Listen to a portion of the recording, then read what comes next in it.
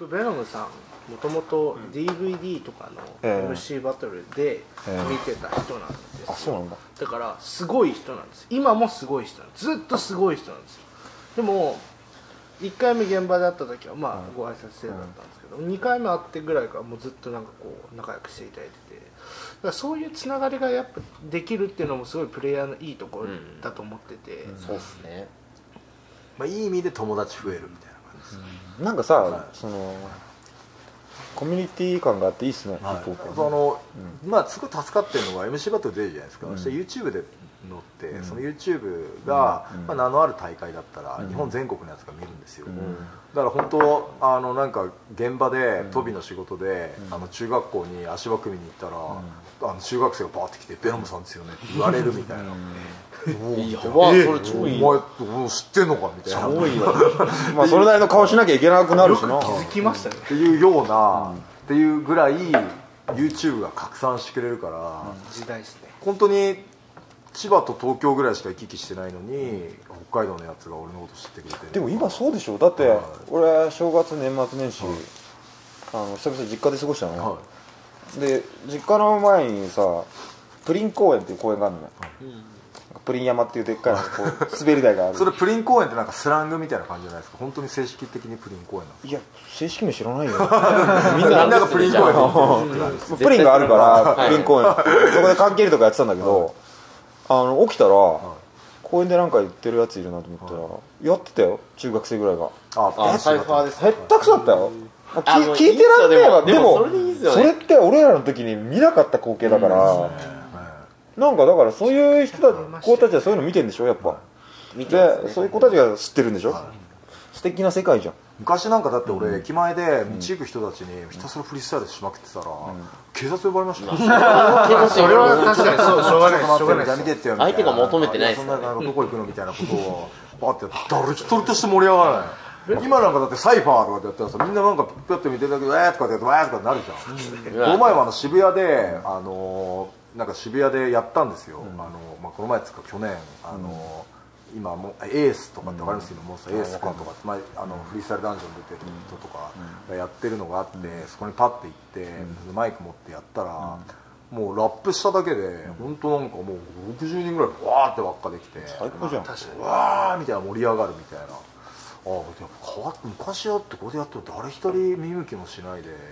ただなんか苦情が入って警察だけが来るみたいな、いよかったっすね。あいや本当変わったな。だってさ高見君初めて来た時もさもうやから来たって感じじゃん。か 来た。もうガムとかすげえがメジャーリーガーぐらい噛んでてさガムはね奥歯に力が入っちゃうようなものを摂取してたからね。完全にやから来たよってなって。でもそれがさそのまま行ってそうじゃない形になる、俺とかトシなんかさ、変な人のままだぜだって。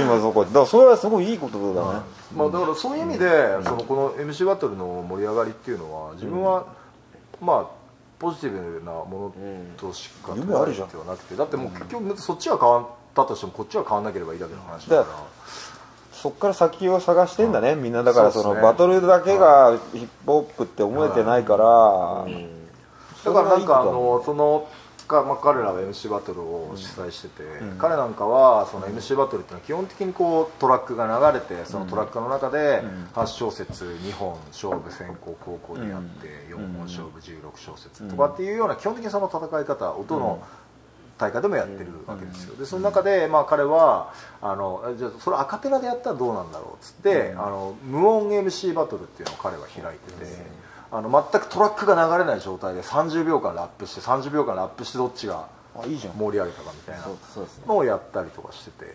ここでやってくださいよ。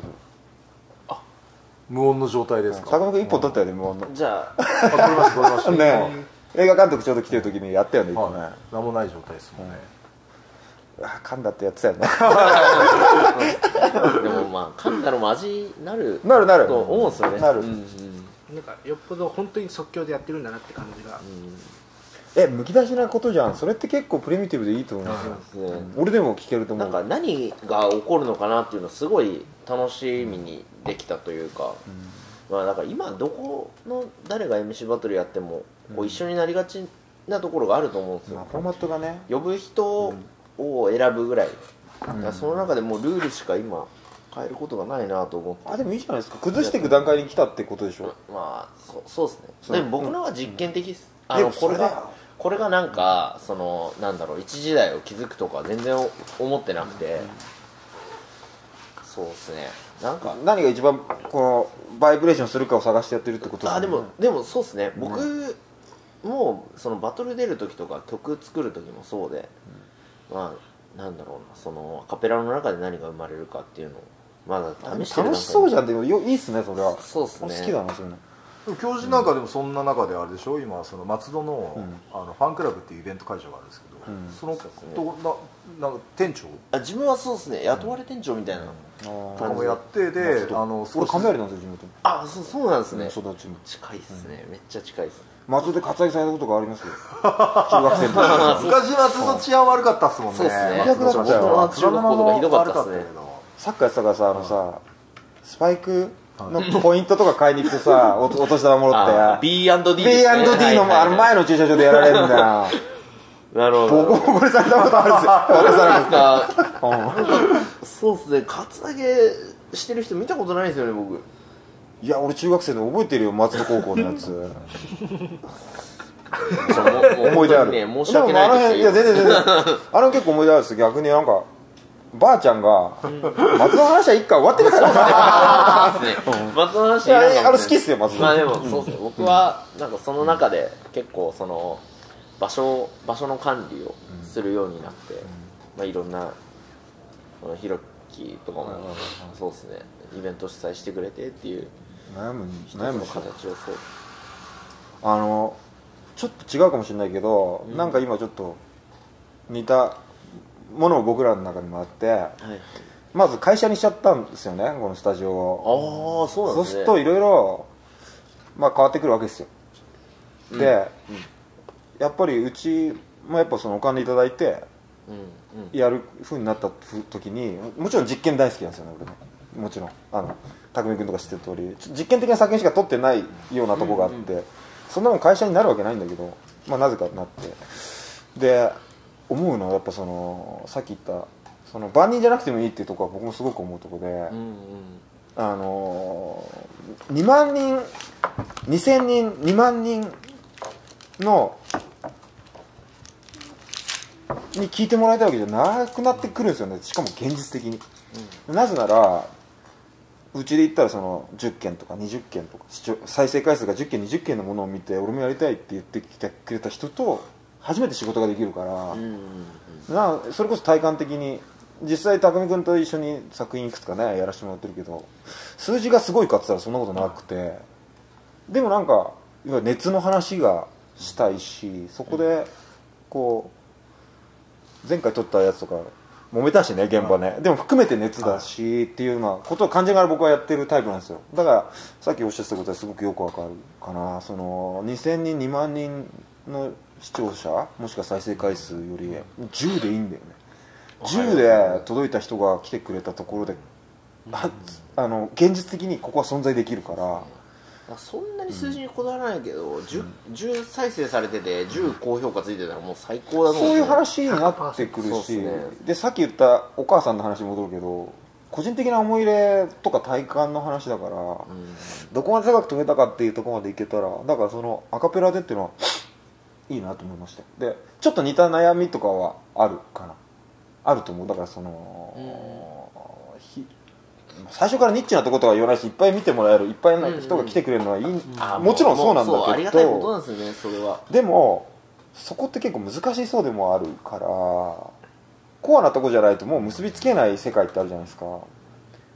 で質の高い情報交換がしたい本音で言うと、はいはい今日だって喋り足りないじゃないですか本本来、うん1対1でじっくりとか僕じゃなくてもねっていう話になってくるじゃん。そうなってくるといらないんだよね2万ってって。いいらないって言っちゃいけないんだけどうんうんうん。でその2万人の人が来た時にすげえ難しさがある数字に引かれてきた人は数字がなくなったらいなくなるいなくなるし揉めるしね。はい。多分そのイベントやるとかになったらやっぱリスクも取るじゃないですか。そうですね。払える人じゃないと得られないから、うん。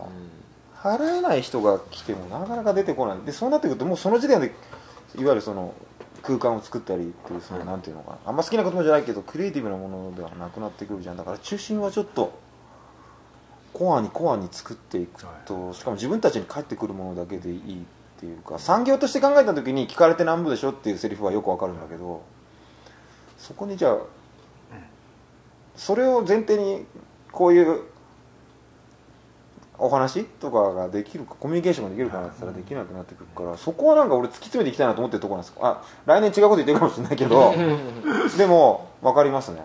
で実験箇所だけでいい。なんならそれでいいって思うかな、俺がお客だったらいや俺俺は全然一お客でかつすげえ少ない1%未満のとこだとは思うんだけど昔は100だと思ってたんだけどずっとやら違う。わかります。でもその無音のバトルだけをやってるんだよっていうのは僕はすごく新鮮に聞こえてそれだったら見に行く。一般のバトルだったらおそらく行かないっていうようななんか実験ってさっき言ってた熱があるじゃないですか。しかも音楽ってそれをそのままパッケージできるから頑張ってください。あもうもうがうまく言えないけどなんかマジで頑張ります。近いしちょっと遊び行かせてください。なんか松でしょ？やっぱあの本当にこうやって出会えてやっぱみんないいやつなんですよ本当に。すごいいいやつで。しょうね。はい、本当にいいやつで。いや今日も楽しいと思うんですメロンさんもすごいいい先輩ですあおどり。タク君いいんだよね。優しいんだよねこの人ね。もう会えていやいやこちらこそ。匠君がさなんか結構前回やった時結構混沌としたレコーディングだったじゃん、は一曲さ今度リリースするけどさすげえ優しい曲あってさ送ったやつああいいっすね。る匠君みたいな。そうそれ聞きてんだよっていう話で、まあ、あのスタイルではないやつが取れちゃったの。そうメムさんのライブはなんかかかっこいいんですけどなんかちょっとなんだろうな。せ背伸びしてるっていうとなんか言い方悪いんですけど。悪いでしょ？ちょっとなんかあのえ？なんかあのえ？先輩だよなんかすごいすごいなんか啓発的なんですよ。あ気がすぎそう、すごくあの勉強にはなるんですけどバトルの時に見せてくれてるその弱さとか見せてくんねえなっていうのちょっと。いやあれ50分ぐらいだったら見せるよ。15分20分しかないの駆あけ抜けるしかあやっないでしょ。ぱやっぱそういうことなんですね。だったらなるほど。50分やんないって話。今言ったじゃんそうだ本当50分枠だああ面白いですね。それ50分。でも本当それ面白いかもしれないですね。だって匠君も調子よくやさ50分無音なんか余裕でいけるでしょ。全然いけるっすね。ああ。全然いけるっす、はい、だってスタジオでいつもやってますもん週に1回、俺が匠君と結構でエフェクターだけで。今もうつるんでるのはそこだもん。あの啓発じゃん。はい。でなんかこっちも投げ返してるしさ、はいはいはいはい。それができなかった時ってあんまりお疲れしたみたいな感じじゃんそこしか期待してないとはいそうっすかない、はいだから、俺はスタジオ全体そうなんだけどねえ。引き出せるよ50分あれなるほど。それちょっと面白いですね。面白そうなまあ、なんかさっきの優しい曲じゃないですけど、なんか俺が俺だけ思ってるのかもしれないですけど、ベノムさんの曲の中で一曲だけなんか雰囲気が違う曲があって、なんか進んでいくだけって目の前の全てが進行方向って曲があってなんかあの自分のこう生い立ちをこう振り返って。なんかそれだけなんかちょっと、なんかアングルが違うっていうか、なんか素敵じゃん。なんかすごいなんか人間ないい意味で人間的な人間味のある曲が一曲だけアルバムの最後の曲みたいなやつ。そんな感じですなんかイメージ的に、ねえねえあれアルバムの最後の曲ってなんでああいう緩い曲が入るっていうか知ってます？おわかんないです。最近聞いたんだけどそれちょっと知りたいですね。あの昔アナログだったじゃないですか。うん。レコード。レコードって真ん中に行くほど記録帯細くなっていくじゃないですか。でかいキックとか激しい音が飛びやすくなるんですよ。え。ー、なるほど。でそういう事情もあって、物理的な。そうそうそうそう。レコーディングの事情えーで面白い面白い前半飛ばしてって、もう CD になっても関係ないけど CD は関係ないけど、まあ、伝統じゃん。そうああなるほどでも自然とその要は今言ったようにレコードの物理条件みたいなものが、なんか俺人間の感情と感覚ですか？思考わかんないですけど、そのバイオリズムとかと合うような気がするんですけど、はい。アナログとかで言うと、ちょっとだなスタジオっぽいこと言うと、はい。俺別にその精密なエンジニアじゃないから、まあ、エンジニアかどうかもわかんないしあれだけどアナログで言うとそのピーク付近ってやっぱりいいじゃないですか、はい。俺そのここの社長と音楽始めた時、はい。カセットのレコード、ね、MTR でね撮り始めたんですよ。えっとそう最初。ちょっとバカだったんだと思うんだけどレベルってあるじゃないですか、ん。あれ赤になるうん。なるじゃないですか、赤になってなきゃダメって思ってたの。赤になってると取れてる。逆いっちゃったうん。音割れるぐらいのがって思ってたんですよ。でまあそれを笑い話にしてちょっとその有名なねエンジニアさんにそんな思い出話をした時に「いやそこだよ」っていう話で。デジタルでレベル飛んじゃうともうブツって全体的にノイズ入って音じゃなくなっちゃうから、アナログってある程度この赤になってても音で聞こえてるのがある,、あるじゃないですか、うんあるんですよね。でお主に俺とトシがとこの社長がレコーディングした時に赤にしてたのはまず最初にやっぱりリズムから取るんですよね。リズムマシン好きだったからリズムマシンとリズムマシン全部赤になってたんだけど、ああいうパルスっていうのかなジズコンじゃない音だとギリドライブが乗るっていうか、割れ切らないんですよ。パンチが出てくるの。長官で言ったらそれいいとこ聞き分けてたってことだよって褒められてすげえあそうなんだって思ったんだけど結局それでもやっぱりアナログタグでいうとピーク付近がいい音出るっていうのは都市伝説的なものもあるけどやっぱりギリのとこ攻めていった方が熱がこもるっていうのはあると思うんですよね。でそういう意味でもなんていうのレコードの仕組みとその人間の仕組みや音声やだから人間がいいって思うものの仕組みとリンクしてるってのはあると思うかなでしかも物理的にうん。そう。そうはあのギターとかオルガンとか割れてたらダメです。よもう聞けたもんじゃねえものなんだけどね俺の。いはい。俺らが最初に作ったやつは。それがいいみたいなのがあってそれは確かに笑い話みたいに言ってたんだけどよく考えたらでもそうなんだよねなるほど。でもそれでも感覚でやってるからこそアホなりに真剣じゃん。はいそうですね。ちゃんと聞いてますよね。はいアホにこんな顔してさ何か学してんだ してるわけじゃん。でもそこがいいっていう思った少年がいてない。でもそれはそういう感覚としてあってだからアナログ的な感覚はそれ CD だと見えないっていうのは確かにもったいないところはあるかもし体感としてやっていくしかないですよね、ラップも結局どんなラップ聞いたってラップ上手くならないから、ラップするしかないじゃないですか、なね。ラップするしかないじゃんもう結局。僕うん。そうですね。ラップするしかないじゃん。みんなするんですか？トラックとかじゃなくて。僕はなんかもう、まず配送の仕事やってるずっと一人で車で運転なんで、絶対に1日30分以上は最高じゃん。やってるっす。よすごいな。あのなんだっけ？シルベスター・スタローンの映画。ロッキー。ロッキーじゃなくて。えーランボーオーバー・ザ・トップ。あ腕相撲の映画。ああ知ってるこうやって持ち帰るやつ。あそうそうそうそう。オーバー・ザ・トップするやつでしょ。こうこうなってるそうそうそうガソリン飲むやつとかいてさできるさあれがさうんちゃんってずっとなんかこう鍛えながらさはいはいはいはい。ああいうことでしょ。はいはいはい。なんか最高じゃん。結論から言ったら同じ言葉のまあ一人なんでもちろん。会話する相手もいないから同じ言葉のルーティンになるんですけどささっきベナムさんが言ってた突き抜ける瞬間があるんですよ。でもそれ絶対的に覚えてはないんですよ。何言ったかとかどういう乗せ方とか覚えてないんですけどその突き抜けた瞬間があると次の日のラップがすげえなんかうまうまくなってるあでもなそうでしょうね。そこがだってそのやれてるゾーンでしょ？本読んでてこうなってる時でしょ一番いいとこ。そうそうそう本当なっちゃって。こうやってる時はあんまりね。あって気持ちいいですよねはいはあみたいななんかスポーツとかもそうですけど一番やばいことやってる時って無心な時じゃないまあですかそうでしょうねすげえもうこうなってる時が一番やばい時じゃないですか無我の境地だねでそれ、まあ、実際何やったかって覚えてはないんだけど、結局次の日になったらうまちょっとだけかもしれないけどうまくなってるし、でまあ、まあうん。なんかちょっとだけ成長してる、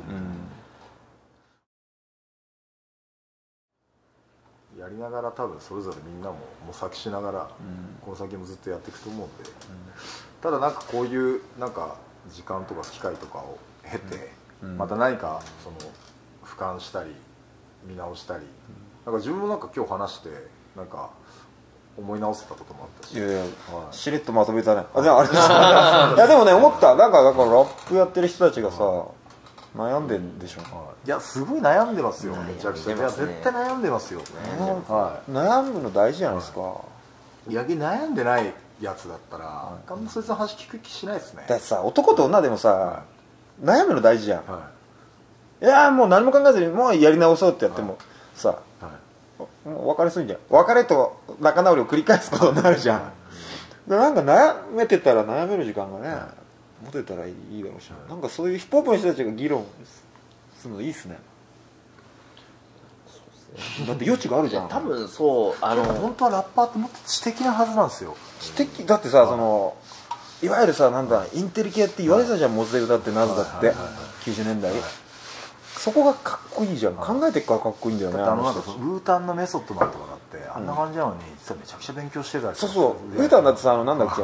クリーム？はい。有名な曲ある。はいはいはい。金の話じゃん、考えているはいすげえ考えてよるね。ジュラシックとかってそうじゃん、は多分俺が好きなものだけで言うとね好きなものが分かんないですけどでもビースティとかも好きだし、ビースティがヒップホップかどうかっていう議論は置いといて考えているよねやっぱり。はずなんです素敵だよ。考えてる人かっけえって俺も思うしそれ覗かしてもらって俺もクールになりたい。みたいな。思うよね。やっぱ音楽聴く以上はさ。男の音楽だもんねそうであればタフで、うん。あのタフで、でさらにすげえ知的で、そしたら、まあ、すあもう言うことないと思う。